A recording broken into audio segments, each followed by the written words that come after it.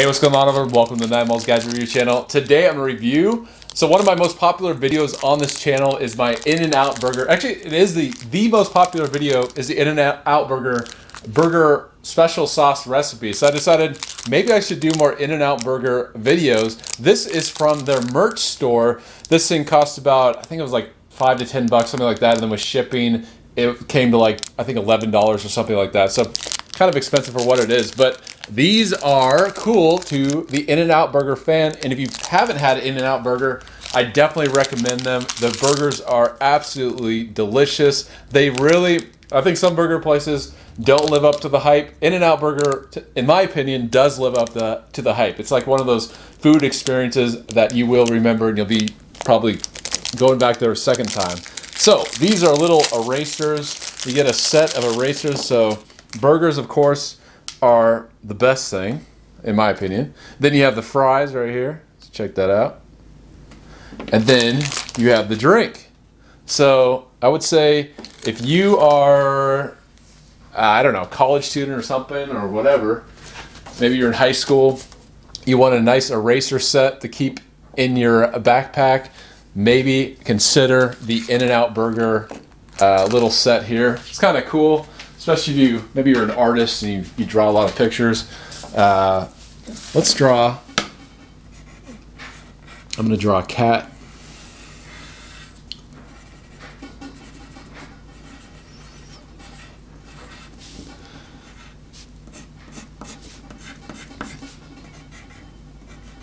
And then, so yeah, let's see if this eraser works. So here we go. Does the In-N-Out Burger Oh, that's cool, actually. Look at this. I just noticed this. Look at that. So you can twist. These kind of rotate along the center. That's kind of cool.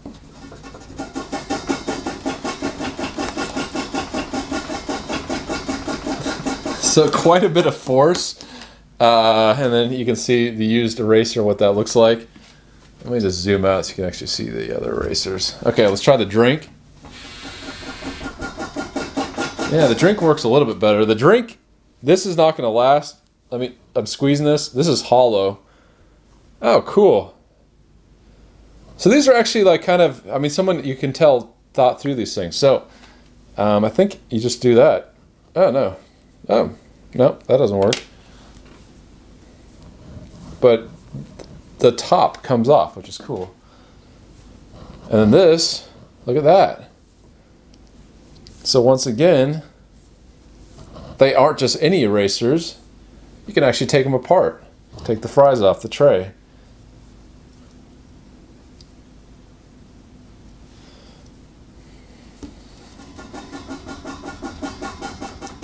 And they kind of work.